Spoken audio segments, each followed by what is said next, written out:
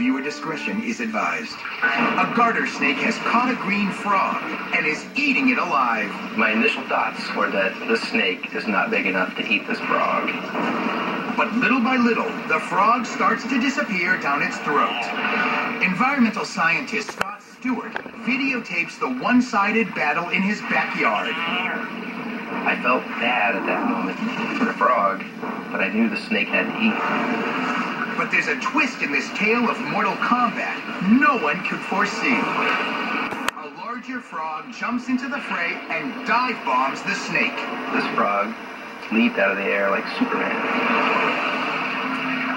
To understand the extraordinary video, you have to look back to this critical moment, right here. When Scott moved some blades of grass out of the way of the shot, The snake didn't like that and started turning, and as the snake moved to avoid me, he entered the pond, I think to get away from me. When the garter snake got into the water, it wasn't in a very good position to be swallowing a frog.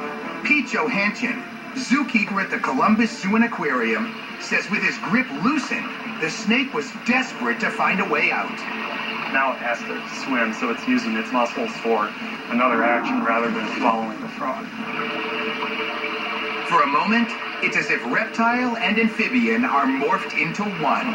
The frog clawing, the snake swimming.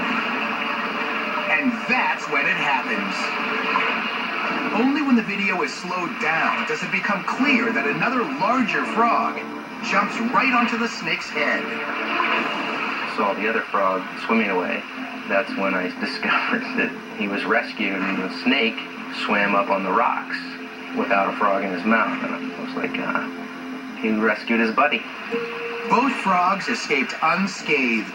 The snake loses its meal, but Pete Johansson doesn't think one frog heroically rescued the other frog at all.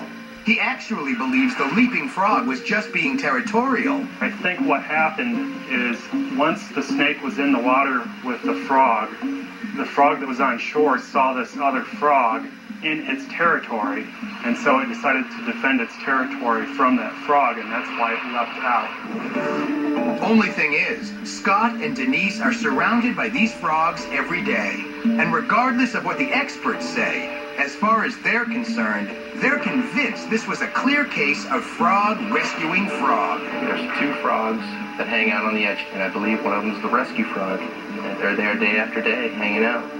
I think they're watching over all the small ones, the keepers.